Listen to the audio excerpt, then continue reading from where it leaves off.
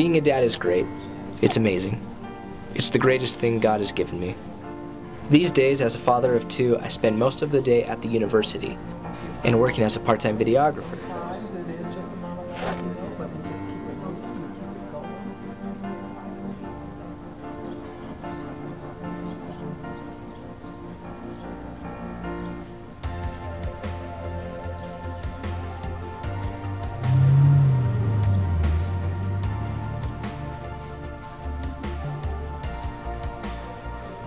The best part of my day is coming home to my beautiful wife and two small kids.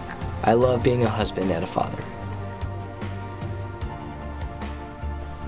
My kids keep me busy and I wouldn't have it any other way.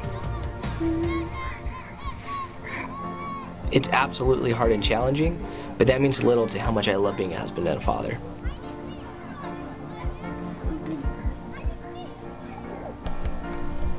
When people say being a dad is one of the best things ever, I couldn't agree more.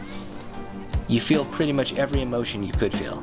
Excitement, happiness, frustration, disappointment, joy, chaos, peace. Nothing can really prepare you for being a dad, but here is a glimpse into what you're getting into as a dad.